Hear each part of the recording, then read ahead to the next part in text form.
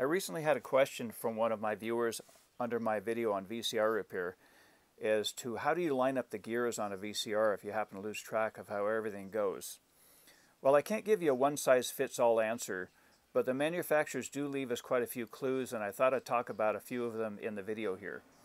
Now, one thing I like to do before I take everything apart is to take out my marker and start marking things as carefully as I can. Even though the manufacturer leaves us a lot of little marks on the gears and whatnot, I'd rather not depend on them in case they don't. And anyway, I'm going to go through a few of the marks that they leave you here, and hopefully you'll find that helpful. Now, if you take a look at these two gears here, this is the, uh, the mode switch gear on the side here. You see it's got a little indentation there. And if you look at this other gear, it's got a little indentation as well in the shape of an arrow. These two marks have to be lined up right across from each other, but only when the VCR is in the fully eject stop mode.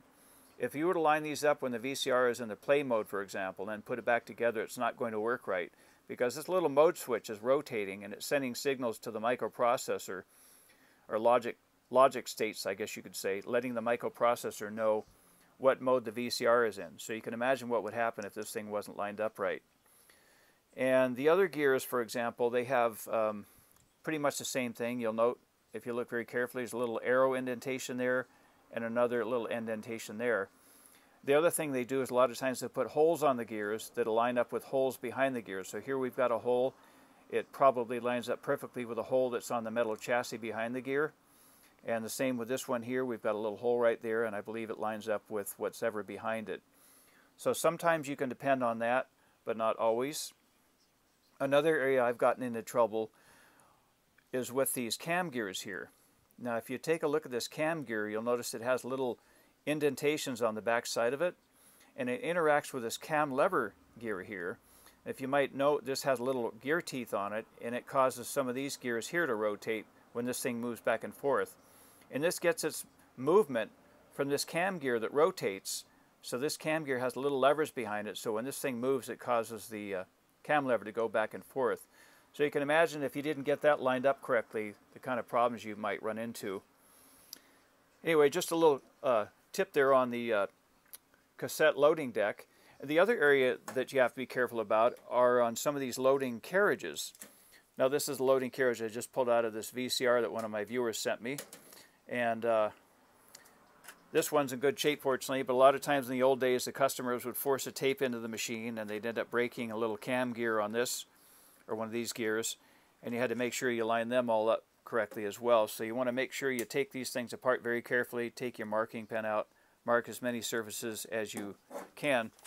And another thing that you want to take note of is that when you put it all back together, here for example, we've got this little lever that goes up and down and it moves when you push your eject button and it interacts with this little lever on the side of this door here to let the door open to eject your videotape. And a lot of times I put these things together too quickly and didn't take the time to line these up. And when I push the eject button, you'd hear the machine try to eject the tape and the tape wasn't able to come out. Now the uh, gentleman that sent in this VCR for repair, he complained that the VCR ate tapes. So the first thing I did was I took out the mode switch I cleaned it up as I showed in one of my other videos and uh, put it all back together, put a little dielectric tune-up grease inside of it. And the other complaint that he had was that the tape counter wasn't working correctly. Now the tape counter on these machines gets its signal from an infrared sensor and an infrared emitter. And on this particular model, it looks like we've got a couple of them here.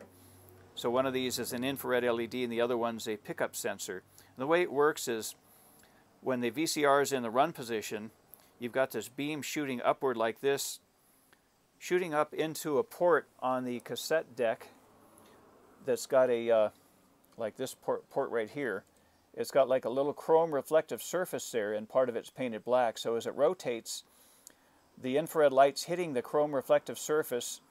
It's being reflected back down at the infrared sensor that's being ejected or protruded, how do I say it, emitted upward and then being reflected back down and picked up by the sensor. And that tells the counter what part of the tape you're in.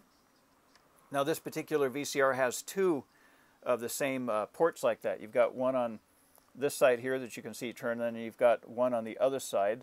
And I'm just turning the spindle that normally gives the uh, tape its movement. I'm turning the spindle on the back side of the VCR here. Oops.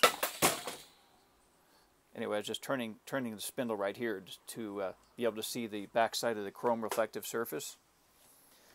Anyway, for what it's worth, I just thought I'd make a few tips on the, the uh, VCR repair here.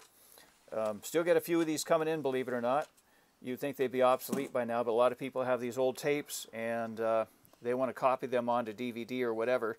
So they need one functional VCR to be able to do that unless they have a combo unit. Anyway, for what it's worth, I hope you enjoy the video. If you do, please give it a thumbs up and please subscribe.